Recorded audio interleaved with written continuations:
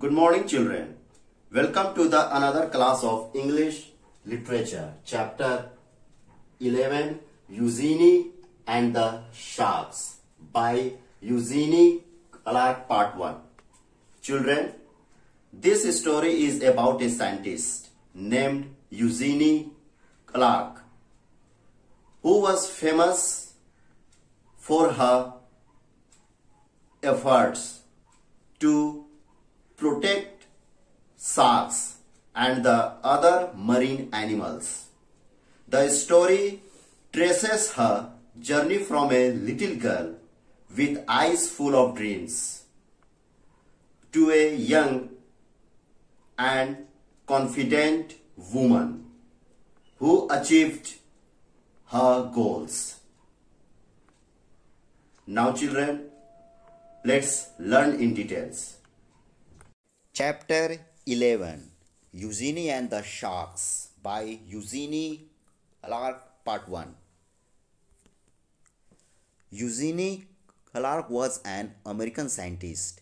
She is known for her work on shark behavior and for her efforts to protect sea animals. She has written two books and several articles about her work. And also she is known as Shark Lady. Chapter 11 Eugenie and the Sharks by Eugenie Clark Part 1 Children, before we start with this story, I would like to discuss some new words. Aquarium, a place where live fish are kept in glass tanks for display. Damp, a little wet. Gills, organs through which fish and other wat water creatures breathe. Tiger sharks, the fourth largest sharks in the world. Whale sharks, the largest known fish species. Lemon sharks, shallow water sharks that move from one place to another. Nurse sharks, sharks that spend a, a lot of time resting at the bottom of the sea. Aquarium Society, a place where people discuss fish and ways to protect them. Clownfish, a kind of fish that lives in salt water.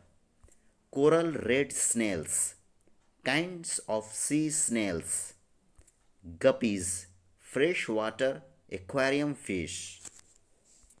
Chapter 11 Eugenie and the Sharks by Eugenie Clark, Part 1.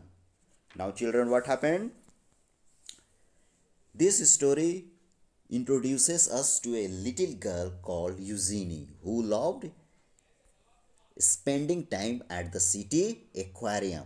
She loved what children? Yes, she loved the smell of the salty and damp air and watched her favorite animals for hours.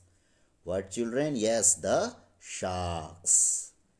And she always wondered, wondered, what, what would it be like to swim with them and breathe underwater with gills of my own? People around Eugenie felt that sharks were ugly and scary. But she decided, who decided children? Eugenie decided to learn everything about all kinds of sharks tiger sharks, whale sharks, lemon sharks, and nurse sharks. One day, what happened, children? Her mother surprised her with an aquarium of her own. The tank was too small for sharks but had clownfish, coral red snails and guppies in it. And it felt like a big ocean in her room. It felt like a big ocean in her room. And Eugenie spent all her time looking at the fish. Then what happened, children? As Eugenie grew older, then what did she decide? Children, yes, she decided to become a scientist.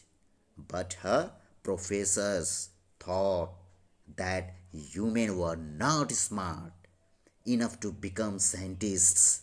And they also said, What children? They said that she would not be able to explore the ocean because women were not courageous. But Eugenie did not listen to any of them. All day long, she studied how fish behaved and she also learned scuba, scuba diving. Eugenie wanted to discover things on her own and she finally who Eugenie got a chance to explore the Red Sea. She even found three new species of fish fish which three new species of fish fish which had not been seen before. So children chapter 11 Eugenie and the sharks sharks by Eugenie Clark part 1 children till here we end in the next video. I will be catching you up with the same story that would be part 2 of chapter 11 thank you